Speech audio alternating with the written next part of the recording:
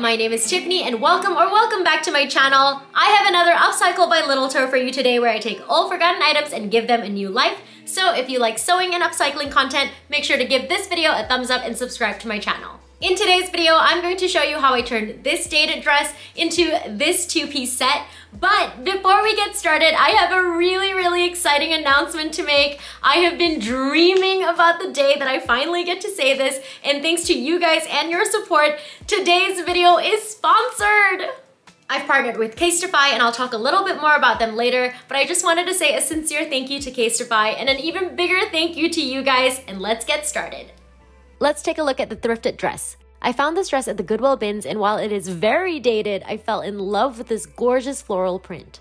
I'm also going to be using these corduroy pants that I also found at the Goodwill bins, and I paid a little over $2 for both of these.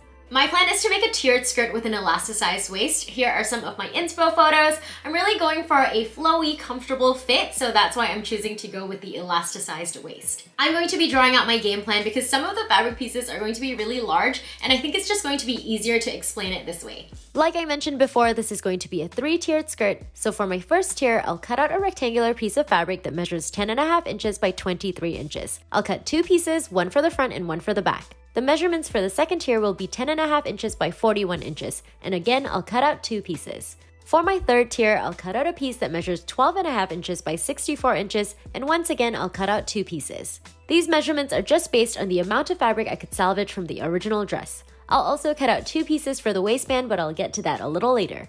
I also decided to add pockets to the skirt, so I made a paper pattern and then cut out my fabric piece. Then I cut out a mirrored piece and these two pieces will make one pocket. I repeated this for my second pocket. Here is one of my pieces for the top tier of my skirt. I'm laying my pocket piece right sides facing and lining it up with the waist and side seam. I do the same for the other side. Now I'll sew these together along the side seams and you should have something that looks like this. I'll give this a good press and I also understitch the pocket to the seam allowance. This is what it should look like now and I've repeated all of these steps to make a second piece that I'm laying down right sides facing also around the pocket and down the side seam and I'll do the same for the other side. I'm also going to sew along the side seam here until about 1 inch down from the waist and repeat this on the other side. Here is what it should look like now and I'm going to sew the pockets to just the top layer of the skirt along the top here and I'll do the same for the other side. Here is what the pockets look like sewn to what is now the front of the skirt and this is what it looks like turned to the right side. Moving on to the waistband. From the corduroy pants, I cut out my front waistband that measures 16 inches by 3 inches and my back waistband that measures 19 inches by 3 inches. The total of these two measurements needs to be wide enough to fit over your hips. Now I'm placing them right sides facing and I'll sew together along the sides and you should have something that looks like this. Next step is to sew the waistband to the top tier of the skirt. I've sewn a basting stitch along the entire top of this tier. I'm placing these pieces right sides facing, making sure to line up the side seam of the waistband to the side seam of the skirt and pinning in place. Then I pull on the loose thread creating gathers and pin the skirt to the waistband making sure I spread the gathers out as evenly as I can. I'll sew this together and this is what it should look like now. I've also pressed the seam allowance up towards the waistband and here's what it looks like turned to the right side. This is the front and this is the back. Starting at the side seam, I'm folding the waistband in half and making sure it measures 1 inch and then pinning that in place. I continue to do this, checking with my measuring tape that my waistband is even and pinning in place until I reach the other side seam. Next, I'll stitch in the ditch from about 1 inch to the left of this side seam, all the way across until about 1 inch to the right of this side seam.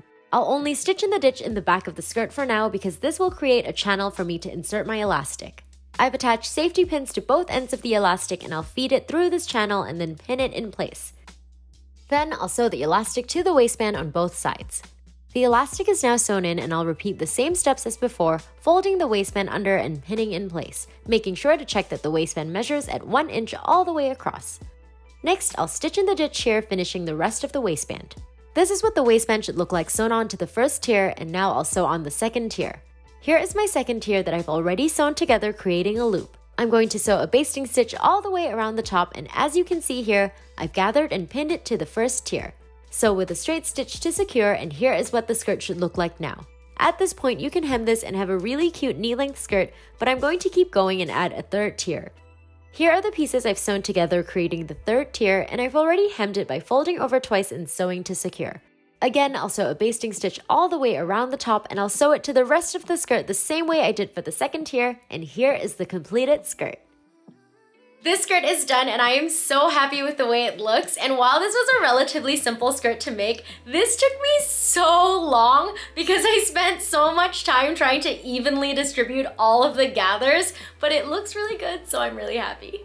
Before I move on to the top, I wanted to quickly talk about Casetify. You guys know I'm all about making more sustainable choices, and they sent me a few phone cases from their Conscious collection.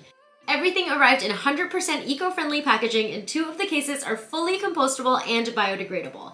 There were so many beautiful designs to choose from, but I obviously had to pick this daisy print case for my daisy, and they also sent me this custom engraved one as well. These are made with Ecodify, which ensures that they break down without leaving any toxins behind, which is so freaking cool. This case also has a 6.6 foot drop protection, which is perfect for me since I film a lot of overhead shots when making my videos and I'm not the best at taking care of my phone. I also wanted to quickly say that I've been using this compostable case that I bought for myself months ago, so I know this actually works and it actually protects the phone. Here is what the new case looks like on, and this is the rig I have set up for my shots, and I'm going to drop it onto the table like what normally would happen, but since it has been tested for a 6.6 foot drop, here's what it looks like dropping from that height. Here's what the phone looks like after all of that trauma, and as you can see, it was pretty well protected. Casetify also sent me these two cases, and while they are not compostable, they are sustainably made from recycled materials. Both of these cases are customizable, and this one says Kuala Lumpur on it, which made me so happy because that's where I'm from, and I can never find anything that says Malaysia or Kuala Lumpur on it, so I thought this was so cool. They have such an amazing selection of colors and customization options, and these would make amazing gifts for the holiday season. Plus, Casetify has partnered with earthday.org to plant a tree for every compostable case sold, so make sure to check out casetify.com slash littletoh or click the link down below to get 15% off your order, and let's get back to the tutorial. For the top, I'm going to be using a pattern that I've used before to make this dress, and I'll make sure to link that video down below. The original pattern is a free pattern from Mood Fabrics, and I'll make sure to link that below as well. I'm going to be using just the bodice part of this pattern and I will be making some minor modifications, but I'll show you exactly how I do that. Here is the pattern that I had previously used. I'm going to shorten all of these pieces by two and a half inches and then trace out my new pattern pieces. Besides the length, I've left these two pieces the same, but for the center front piece, I not only took some length from the bottom, but also a little over an inch from the top. The original pattern was also a little bit too wide, so I took off an inch there as well. With my new pattern, I cut out my fabric pieces. As you can see here, the center front was cut on fold and here are the pieces for the other side. I'm going to start by sewing these three pieces together. I'm placing them right side spacing and I'll sew together along the princess seams. Here is what the front piece should look like now. Then I place the corresponding back pieces right side spacing and I'll sew together along the shoulder seams and side seams. Here is what the top should look like turned to the right side. Using some leftover cotton fabric I had in my stash, I made a lining piece following all of those same steps. Before I sew the lining to the shell, I'm going to add these bra cup inserts. I have the lining on inside out and I've just pinned it in the back for now. Once I was happy with the placement of the cups, I pinned it in place and repeated this for the other side. Then I sewed the cups to the wrong side of the lining with a straight stitch. This is completely optional. I just personally don't like wearing bras and the top is backless so I thought this would be a good solution. To sew the lining to the shell, I place both pieces right side facing and pin along the entire front of the top. Now I'll sew from this shoulder seam along the neckline to this shoulder seam. Don't worry about the back for now, I'll sew this together later. Here's what it looks like sewn and turned to the right side and I've also given the neckline a good press and understitched the lining to the seam allowance. Before I sew the lining to the shell in the back, I'm going to add a piece of elastic here. I'll start by making a casing for the elastic. This corduroy piece measures 15 inches by 3 inches and I'm folding it right side facing and I'll sew all the way across. Here I have the casing turned to the right side. I've attached a safety pin to my elastic and I'm going to feed it into the channel. At this point, I'm going to sew the elastic to the casing, securing it in place. Now I continue to feed the elastic through the casing. I'll sew this end in place as well and you should have something that looks like this. Here I have my shell and lining right side facing. I'm going to sew the shell and lining together, but first I'm going to place the elastic piece here and pin in place so that it's sandwiched between the shell and the lining. I pin the rest of the lining to the shell and I'll sew together, securing the elastic in between the two layers. I've sewn those pieces together and once I turn the top to the right side, you should have something that looks like this with the elastic attached to this side of the top. The other side is a little trickier and this is a little hard to see, but I'm pinning the elastic to the right side of the lining. Now I'm folding the shell under so that the right side of the shell will be touching the elastic and pin in place. Then I continue to pin the shell to the lining, making sure they are right sides facing with the elastic sandwich between them. Just like before, I'll sew this together, securing the elastic in between both layers. This part may seem a little tricky, but just trust the process and once you turn the top to the right side, you should have something that looks like this with the elastic connecting the two back pieces. I've also given this a good press and just like the front, I've understitched the lining to the seam allowance. I'm going to add a corduroy band to the bottom of the top so I measure the width of just my front pieces and for me that measurement is 15 inches. Using that measurement, I cut out this piece making sure to include seam allowance to the length and this piece is 3 inches tall. For the rest of the band, I cut two of these long strips that are the length of the original corduroy pants and 3 inches tall. I'm going to sew these pieces together, making sure that the shorter piece is in the center. Here it is sewn together and now I'm going to pin it right side spacing to both layers of the top, making sure to line up the side seams and pin all the way around.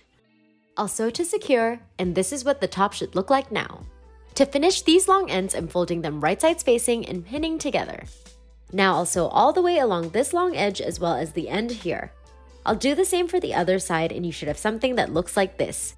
I might try a different way to sew this if I ever do something like this again because turning this out to the right side took way too much time, but here's what it looks like now and this band is almost done. I'm folding the band in half, making sure that the raw edge is also tucked under, pinning it in place and continue to work my way across the entire top. Now you can stitch in the ditch here, but I decided to hand sew with a blind stitch instead.